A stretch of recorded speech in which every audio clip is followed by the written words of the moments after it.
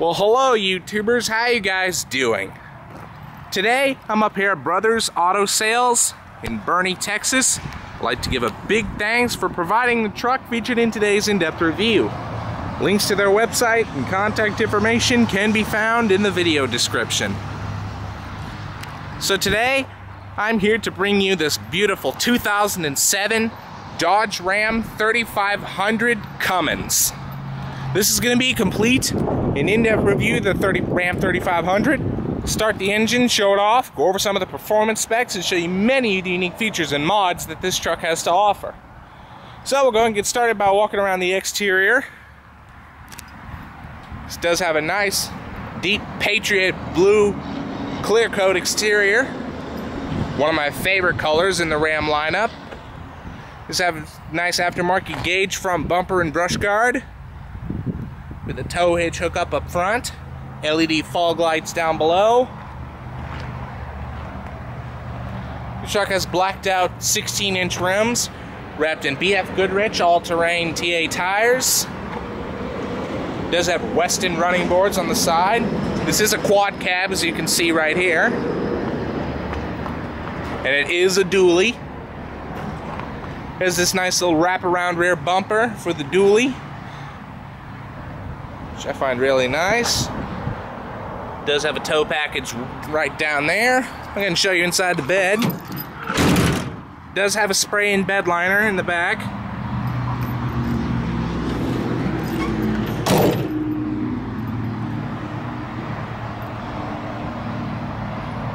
Does have a large six, six inch exhaust tip.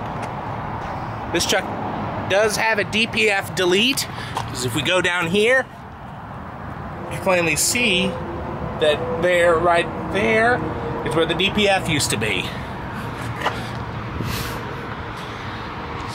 So reason with that, you won't have to worry about all the emissions crap, tearing apart the engine, and you also get better fuel economy because of it.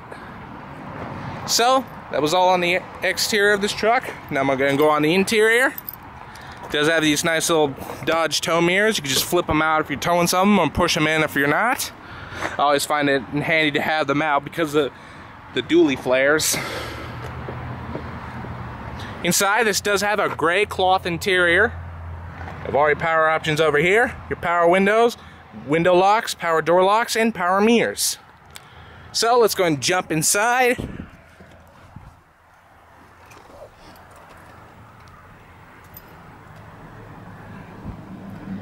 Overall, this is a very nice truck.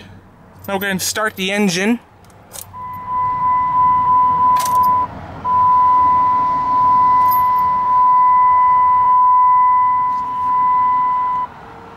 This truck has 147,000 miles in its odometer.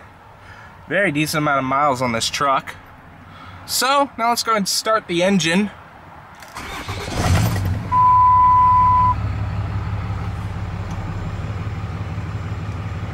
Very nice.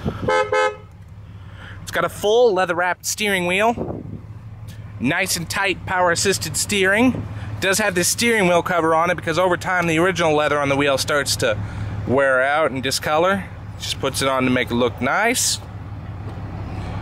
These new 6.7 trucks have a six-speed automatic transmission with manual shiftability controlled by the plus and minus on the side of the shifter. Here's your numbers shown right up there in the dash. You also do have a tow haul mode on the shifter stalk right there. It raises the transmission shift points. So now let's go ahead and turn on the lights. It does have automatic lights, fog lights, and hazards. Driver's side window is automatic down. Alright, now let's go and check out the exterior.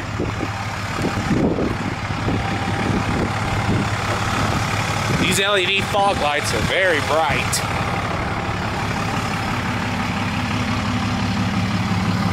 Give you a sound of this exhaust.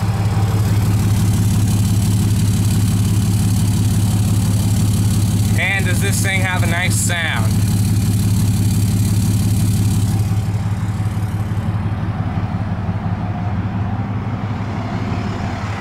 Alright, so now we're going to go back inside. Shut off all the lights. And now, I'm gonna pop the hood and show the engine.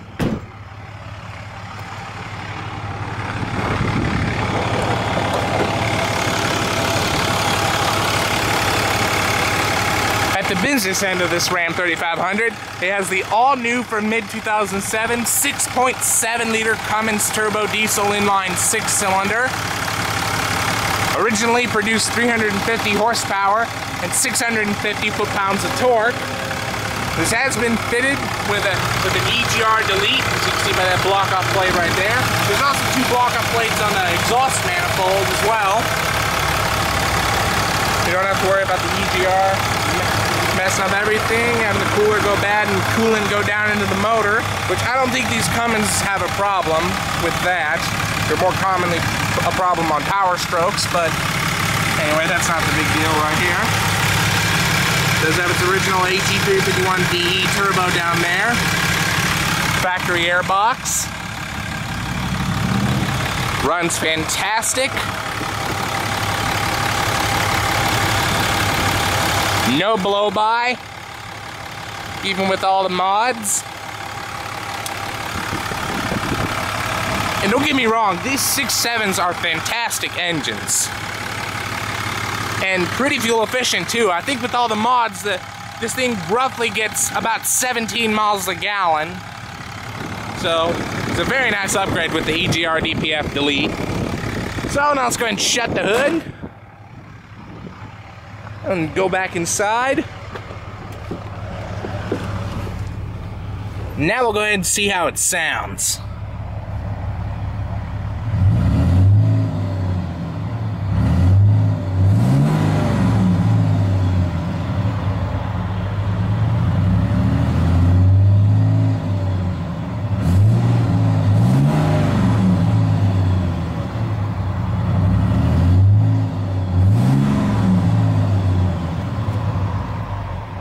Fantastic sounding engine.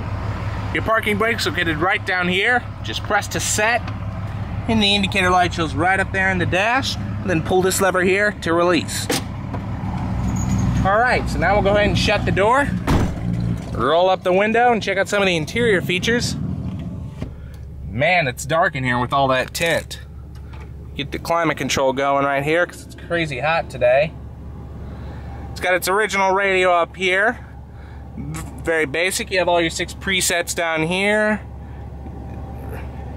Your AM FM controller up here, tune over here, volume there, your mode right there, auxiliary line in is obviously hooked up right here. Track seek over here, mute, scan, eject, your PT scan over there, time, rewind and fast forward, six six disc CD players right up here. You have a nice little storage compartment down below.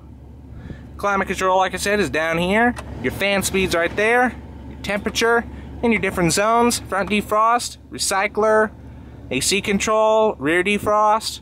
Right here's the controller for your exhaust brake. Something new on these 6-7 trucks. Just push that and now it's on. You can take that off. Right here's your 12 volt power point. This is a non-smoker vehicle. Power points over here. Another little storage compartment over here. Four-wheel drive transfer cases over here. You have nice little flip-out cup holders right here.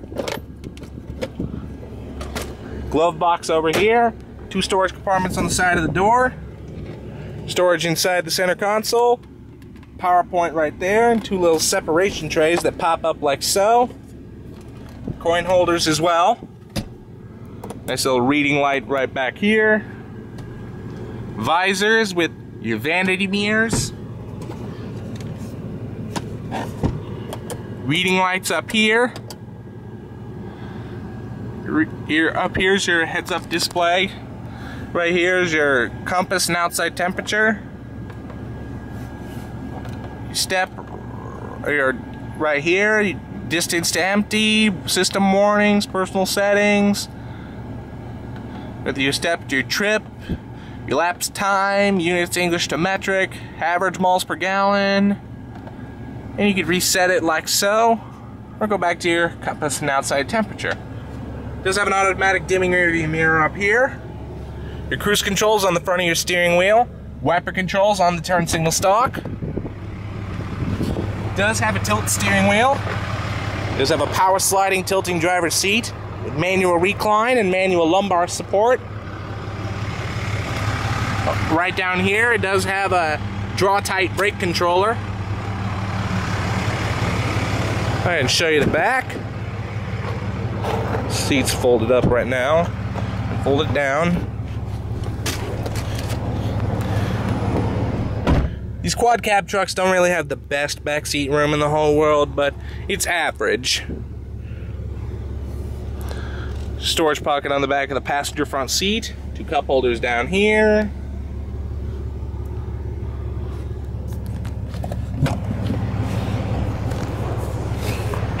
Like you saw, the bottom of the seat does fold up for extra cargo space. You do have storage right underneath.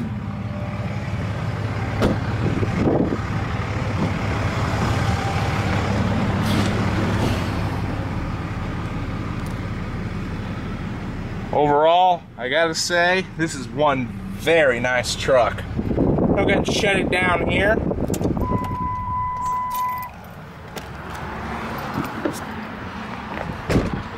Well guys, I hope y'all enjoyed this in-depth review of the 2007 Dodge Ram 3500 SLT.